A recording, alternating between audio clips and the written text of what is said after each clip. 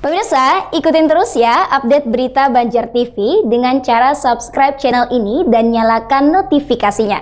Oh ya, like juga video-videonya, komen, and share. Terima kasih.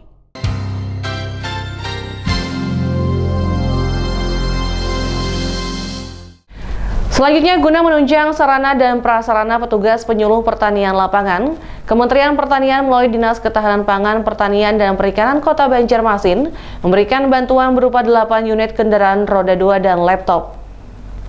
Wali Kota Banjarmasin Ibnu Sina menyerahkan langsung bantuan sarana dan prasarana penunjang petugas penyuluh lapangan PPL berupa 8 unit kendaraan roda 2 dan 23 laptop di kantor DKP 3 Kota Banjarmasin, Jalan Banua Anyar, belum lama tadi.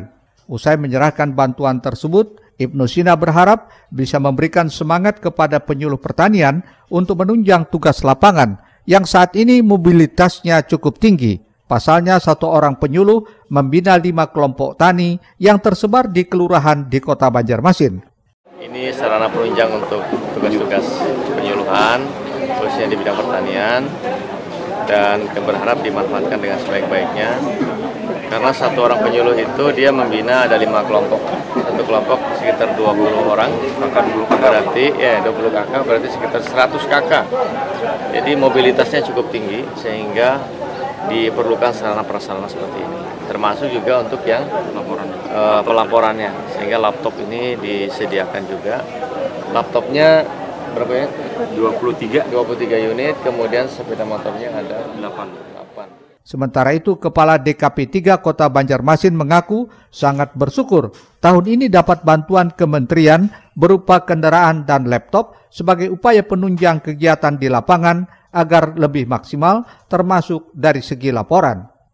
Alhamdulillah kita dapat segitu tuh dalam arti kita mengharapkan kita terus terang ya uh, mengharapkan seluruh PPL itu satu PPL satu. Sebenarnya syaratnya satu PPL satu kelurahan atau satu desa.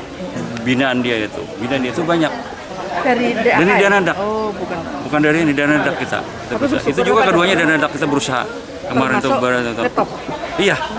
Itu laptop itu nanti berkaitan dengan dia langsung melaporkan ke pusat. Oh. Jadi sekarang tidak ada lagi, tidak ada alasan lagi tidak menyampaikan laporan dulu kan pakai ya, tangan apa segala. Tidak ada lagi sudah sudah dikasih bagaimana untuk mengirim laporan gitu. Jadi online. Online. Pada kegiatan tersebut juga dirangkai dengan penyerahan bantuan 500 bibit tanaman buah berupa jeruk, rambutan, sirsak, sawo, dan belimbing untuk masyarakat Sungai Andai khususnya di area wisata Sungai Biuku. Muhail Banjar TV